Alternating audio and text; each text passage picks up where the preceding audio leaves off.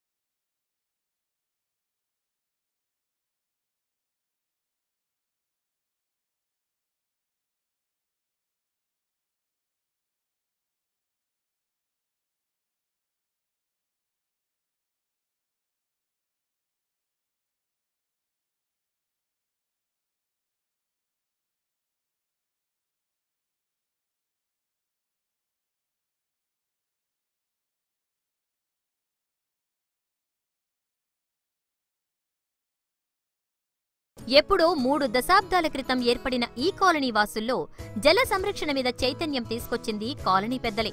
రెండు వేల సంవత్సరం తర్వాత నుంచి వీరు తమ కార్యక్రమాన్ని ముమ్మరంగా చేశారు. భూగర్భ జలాలు పూర్తిగా ఇంకిపోతున్న నేపథ్యంలో ఒక డేంజర్ బెల్ అనేది మోగుతూ వస్తుంది. జల సంరక్షణ కోసం ప్రతి ఒక్కరూ పాటుపడాల్సిన పరిస్థితులు ఆవశ్యకత ఎంతైనా కనిపిస్తుంది. విశాఖ నగరంలో ఇప్పటికే మొత్తం భూగర్భ జలమంతా కూడా పూర్తిగా ఇంకిపోతున్న తరుణంలో అపార్ట్మెంట్ వాసులు ఇంకా ఒక కర్తవ్యంతో ముందుకెళ్తున్న పరిస్థితి మనం చూస్తున్నాం. ముఖ్యంగా జేఆర్ నగర్లో మనం ఉన్నాం. ప్రస్తుతం ఈ కాలనీ వాసులంతా కూడా ప్రత్యేకంగా భూగర్భ జల సంరక్షణ కోసం పాటుపడుతున్నారు. ఇది ఇప్పటి ప్రయత్నం కాదు గత కొన్నేళ్ళుగా ఈ ప్రయత్నం సాగుతూ వస్తుంది. మనతో కేసీఆర్ మూర్తి గారు సార్ ఈ కాలనీ ప్రత్యేకత ఏంటి? ముఖ్యంగా ఈ జల సంరక్షణ చేయాలన్న ఆలోచన ఎప్పుడు కలిగింది ఈ జల సంరక్షణ చేయాలన్న ఆలోచన మాకు రెండు వేల సంవత్సరంలో మొదలైందండి. అపార్ట్మెంట్లు రెండు వేల సంవత్సరం నుంచే బాగా ఎక్కువ వచ్చాయి.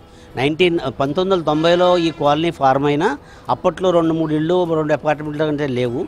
రెండు వేల సంవత్సరం నుంచి అపార్ట్మెంట్లు చాలా పెరగడం వలన తర్వాత వర్షం ఎప్పుడు వచ్చినా సరే నీరంతా వృధాగా పైనుంచి ఎక్కడికో వెళ్ళిపోతుండడం వలన మా కాలనీలో ఉన్న సభ్యులంతా కలిసి మేమేమనుకున్నామంటే ఏ రకంగానైనా సరే జల సంరక్షణ చేయాలి అని చెప్పి మొట్టమొదట అప్పుడు జీవీఎంసీ వారు ఆదేశాలు కూడా వచ్చాయి. మాకు కూడా అనిపించింది. ప్రతి అపార్ట్మెంట్లోనూ కూడా టెర్రస్ నుంచి వచ్చే వాటర్ని గొట్టాల ద్వారా ఇంకుడు గుంతల్లోకి వెళ్ళేటట్టుగా అందరూ అరేంజ్ చేసుకోవాలని అప్పుడే మేము కొద్దిగా వాళ్ళకి సూచనలు ఇచ్చాం. కేవలం అపార్ట్మెంట్లో ఇంకుడు గుంతలు తవ్వడంతో ఆపేయలేదు. కాలనీ రోడ్ల మీద పారే వర్షపు నీటిని భూగర్భంలోకి మళ్ళించేందుకు ప్రత్యేకంగా ఇంకుడు గుంతలు తవ్వించారు. ఇందుకోసం విశాఖ మున్సిపల్ కార్పొరేషన్ సహకారం తీసుకున్నారు.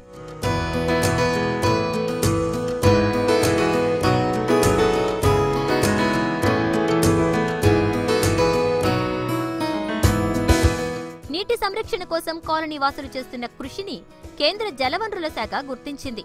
అవార్డును లక్ష రూపాయల నగదును ప్రకటించింది.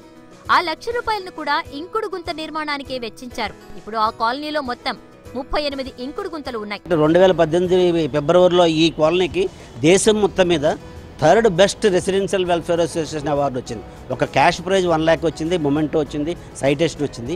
ఆ క్యాష్ ప్రైజ్ను ఉపయోగించి మేము మా సెక్రటరీ మా పెరుమాల్ రాజు గారు మా వైస్ ప్రెసిడెంట్ ఆయన దేవేంద్ర వర్మ గారు మేమంతా అనుకుని ఈ జల సంరక్షణలో మనం ఇంకా అలా ముందుకు వెళ్ళిపోవాలి తప్పితే వెనక్కి చూడడం ఉండకూడదని మేమేం చేసాం? వాళ్ళు ఇచ్చిన ఐదు పిట్లే కాకుండా ఇంకో ఎనిమిది పిట్లు తవ్వి ఈ ఎనిమిది పిట్లకి ఇక్కడ రెక్టాంగులర్ బౌండరీ వేసి వాటికి ఇన్లెట్ పైపులు పెట్టి మళ్ళీ ఆ పిట్లు కూడా మొత్తం ఎప్పుడో తవ్విన పిట్లు అవి. వాటిలన్నింటినీ తీసి మళ్ళీ స్టాండర్డ్ రొటీన్ ప్రకారం ప్ర పద్ధతి ప్రకారం చేసి ఈ రోజుకి మా అపార్ట్మెంట్లో కాలనీలో రోడ్ల పక్కన ఒక ఎనిమిది రెయిన్ వాటర్ హార్వెస్టింగ్ పిట్లు అపార్ట్మెంట్లో పదిహేను అపార్ట్మెంట్లో ఒక్కొక్క దాంట్లో రెండు చొప్పున ఒక ముప్పై రెయిన్ వాటర్ హార్వెస్టింగ్ ఛార్జింగ్ పిట్లు ఇవన్నీ ఉన్నాయి. వర్షపు నీటి సంరక్షణ కోసం తమ అపార్ట్మెంట్లో రెండు ఇంకుడు గుంతలు తవ్వి నీటి సంరక్షణకు ప్రత్యేక ఏర్పాట్లు చేసినట్టు శంకర్రావు చెప్తున్నారు. మాది డిఎన్ఆర్ రెసిడెన్సీ అపార్ట్మెంట్ టెర్రస్లో రెయిన్ వాటర్ కలెక్ట్ చేయడానికి టూ డ్రైన్స్ పెట్టాం.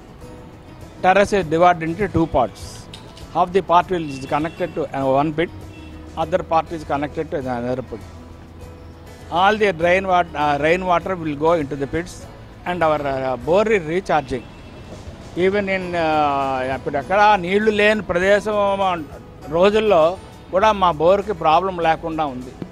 ఆ రీఛార్జ్ చేయడం వల్ల. ప్రతి రెయిన్ వాటర్లో ఒక బొట్టు కూడా పైకి పోకుండా అంతా అందులోకే వెళ్తుంది.